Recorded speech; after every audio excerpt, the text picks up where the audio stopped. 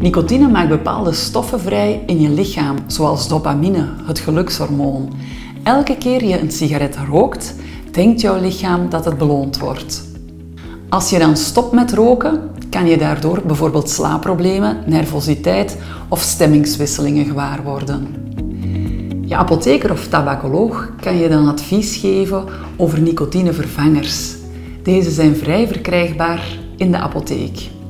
Ze compenseren de ontbrekende nicotine uit sigaretten en in combinatie met professionele ondersteuning vormen ze de beste garantie op succes.